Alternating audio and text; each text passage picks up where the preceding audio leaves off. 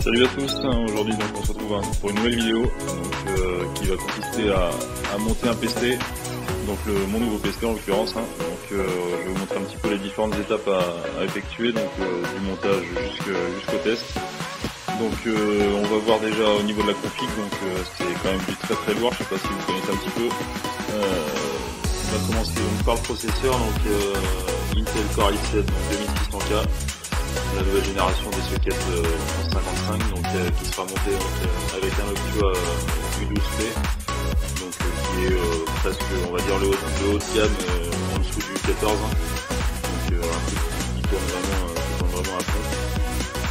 Ensuite il sera monté donc sur une carte mère Maximus 4 Extreme qui est bah, tout simplement la Rolls de chez Asus hein, la public of gamers c'est vraiment, j'ai eu l'occasion de la, déballer tout à l'heure vous allez voir c'est quand même assez hallucinant au niveau du bundle vraiment quelque chose de bien. Ensuite, elle sera mise sur euh, une Corsair AX 850 full modulaire, donc euh, pas de câble, pas de câble justement comme moi qui est justement une, tour moyenne, ça va être assez pratique parce qu'on n'aura pas de câbles qui vont aller un petit peu à droite et à gauche. Et elle sera montée avec un SLI de GTX 560 Ti Pro 2 donc qui est aussi euh, qui est aussi vraiment une très très très bonne carte, graphique et on va finir sur les, euh, sur les, euh, sur les disques durs. Donc avec un SSD Intel euh, PostVip X25e, 80 Go, donc un truc que j'avais déjà, j'avais déjà avant et que j'ai envie, j'avais envie de, reprendre parce que c'est vraiment, c'est vraiment de la bombe. Et ensuite pour le stockage un petit, un petit Digital 500 Go et un petit Master 250. Donc voilà, donc on va voir un petit peu les, les différentes étapes. Et j'ai oublié, j'ai oublié la, la G-Skill. La G-Skill, donc c'est euh, des barrettes de 2 Go, il y en a 4. Bon, c'est pas de la super super qualité, mais bon, j'avais déjà celle-là, donc je me suis dit pourquoi pas. On va essayer de celle-là, on verra bien ce que ça donne après. Donc c'est de la DR3, donc euh, en 10600, euh, voilà, c'est pas, de la super qualité, mais on va dire que ça va permettre quand même, euh, avec 8 Go, de, de, de, voir un petit peu les que ça donner. Donc voilà, au niveau de la config. Et bah, après le, boîtier c'était un truc euh, qui est assez, euh, assez bas de gamme. On va dire que c'était du Cooler Master mais c'était quand même euh, de l'entrée de gamme de chez Cooler Master. Hein. C'est quand même quelque chose qui au niveau des finitions est pas super super.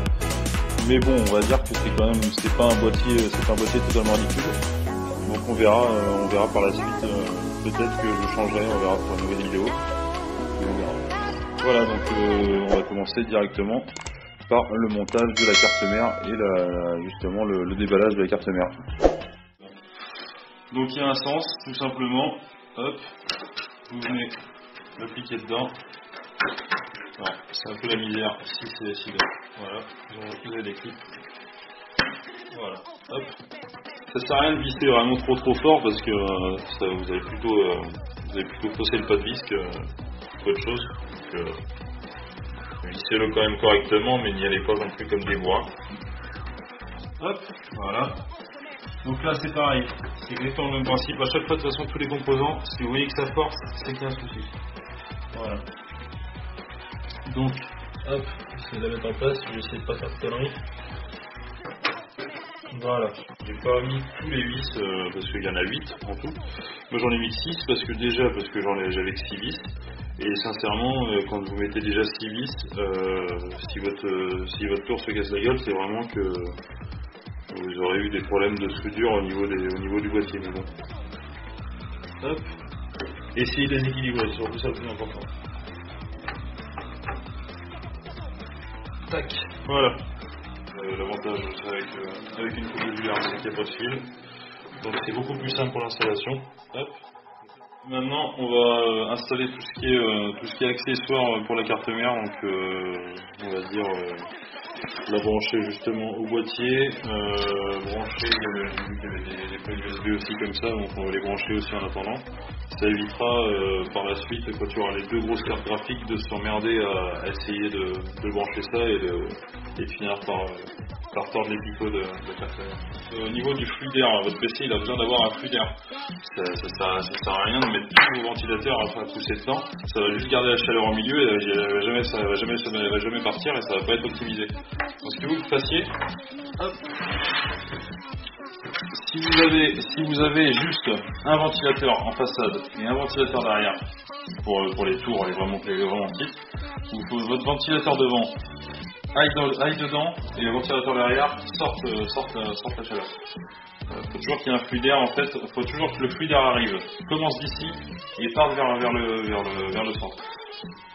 Voilà.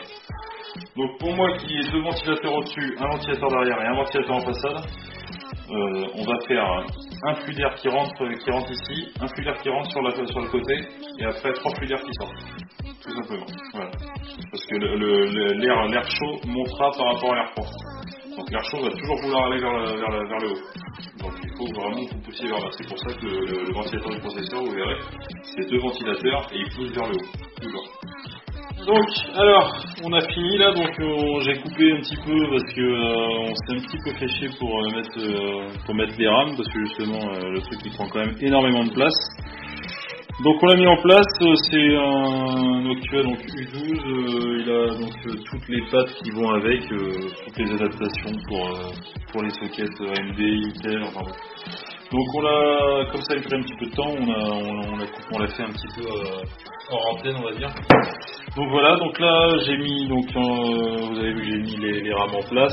Donc les rames c'est tout simple, hein, il y a un clip, c'est vraiment, euh, il y a vraiment rien de compliqué. Il y a bien, il y a un sens avec une encoche, on peut pas se tromper de toute façon, faut pas les mettre à l'envers. Voilà, tac, on positionner dedans. Est-ce que je le mets à l'endroit, ouais. C'est quelque chose qui, est- qui pas fait à la base pour ça, mais moi je m'en suis servi comme ça, donc normalement ça va le faire. Ça se faisait avant, voilà. Tac. Voilà, donc clairement, et là vraiment il peut plus bouger, donc c'est vrai que c'est pratique, il n'y a pas besoin de mettre de vis partout là. C'est assez pratique. Donc là, euh, le PCI Express, vous regardez toujours qu'il soit en position ouverte. La plupart du temps, généralement, c'est un, un clips. Mais après, sur les, sur les, sur les, cartes mères haut de gamme, ils commencent à mettre des, justement des clips un petit peu euh, même principe que les, que les RAM. Donc vous mettez sur, ce, sur celui du bas, vous la, vous la, vous le mettez comme ça. Vous la mettez bien en face, et vous attendez que ça clipse. Voilà. Là c'est clipsé, il ne vous reste plus qu'à fixer ici. Donc on va commencer par faire d'abord les, les branchements des ventilos. Parce que c'est quand même euh, c'est des fils qui sont légèrement assez fins et qui volent un peu partout, il y en a, beaucoup. Donc on va les mettre, on va, privilégier de les mettre en dessous parce qu'on les verra beaucoup moins. Donc moi j'ai un Réobus donc euh, qui va me permettre euh, d'économiser un petit peu toutes les, connexions qu'il peut y avoir sur la carte mère. Et donc c'est tout simplement une, des, prises, des prises 3 pins et qui, se terminent en Molex. Euh, tu peux regarder Nico. Qui se termine en Molex tout simplement. Donc il va nous gérer, la Molex va nous gérer 6 ventilateurs, donc les, euh, je vais en avoir euh, 1, 2, 3, 4, 5, 6. Voilà. Il n'y en aura qu'un qui va être pris sur un, connecteur de la carte mère. Ce qui va être quand même assez avantageux. Donc là c'est un petit peu un tour de force, parce que les fils sont plus ou moins longs. Ça c'est pareil. Toujours garder vos, vos fils à l'extérieur pour travailler toujours avec une sorte de fil. Ça vous évitera de vous planter.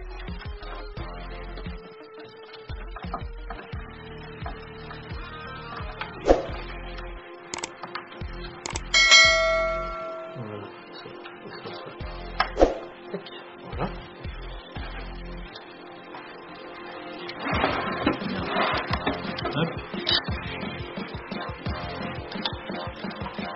Hop. Voilà. Là. Voilà, maintenant, donc on vérifie quand même qu'on n'a rien oublié. Donc nos disques durs et notre lecteur sont, sont alimentés sur la carte mère et sur l'alimentation. Euh, les cartes graphiques sont bien fixées et sont bien alimentées, avec le pont bien évidemment à pas, pas oublier. Ensuite, euh, nos différents ventilateurs, donc on va remettre celui-là euh, tout de suite, mais nos différents ventilateurs normalement sont alimentés par le Reobus. Voilà. Donc il reste plus maintenant qu'à regarder que, bah, que, que ça fonctionne, donc tout simplement. Alors, on va faire les tests maintenant, euh, maintenant qu'on a tout branché. Donc euh, voilà, voilà, hop, donc il suffit de brancher la lime dessus. Hop, vous mettez en route, vous allez regarder ce que ça donne.